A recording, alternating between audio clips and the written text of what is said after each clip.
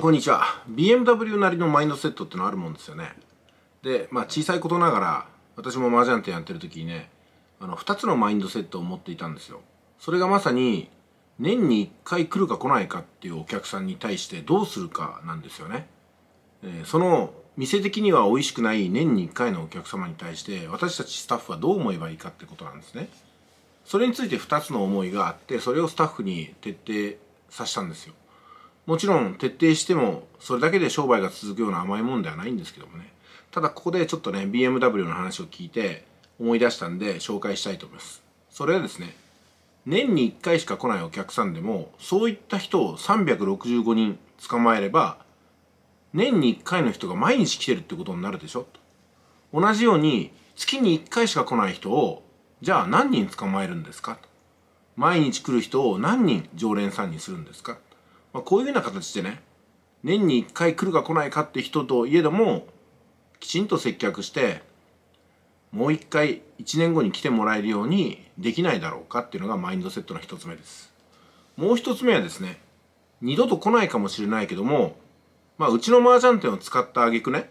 あ麻雀店って結構いいもんだなと思ってその方がどっかの地方でもう一回麻雀店に入ってくださればいいなと思ってるんですよ。でそういった思いを全ての麻雀店のスタッフが考えていればきっと自分の店には二度と来ないかもしれないけども麻雀店で素敵なサービスに触れたその人はきっと他の土地でね他の麻雀店利用するんじゃないかなっていうのがお互いに、えー、関係し合ってどこかでいい思いをした人がうちを利用してくれるみたいなことになればいいなと思ってるんですよ。それがだから業界の信頼ってものじゃないかなと思うんですね。あのコンビニを使ってね例えばドライブの途中まあ吉田さんもね今は BMW で快適にドライブしてると思います。でも以前私はねあのトランザムでドライブしていてオーバーヒート直前でもう慌ててコンビニにね駐車場にぶち入れてそこで2時間3時間エンジンを冷やした思いがあるんですよ。その時にそのコンビニ店っていうのは大して商品使ってくれるわけじゃないのに店舗の駐車場をね何時間か占拠されてまあ迷惑なわけじゃないですか。でもそのコンビニ店の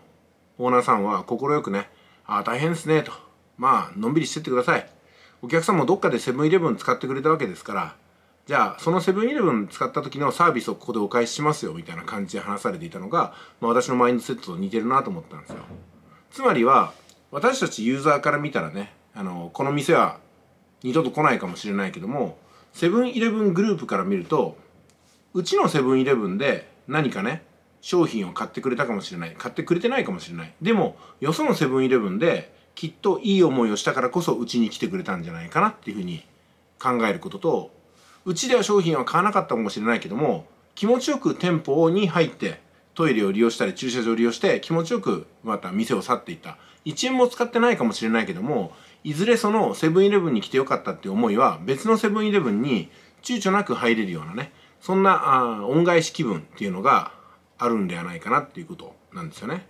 これを江戸の敵を長崎で取る作戦というね、ちょっと変わった言い方になりますけども、まあそういったものでございました。えー、ということで今回はね、あのー、なんと言いますかね、まあ恩恵ということでも言っておきましょうか。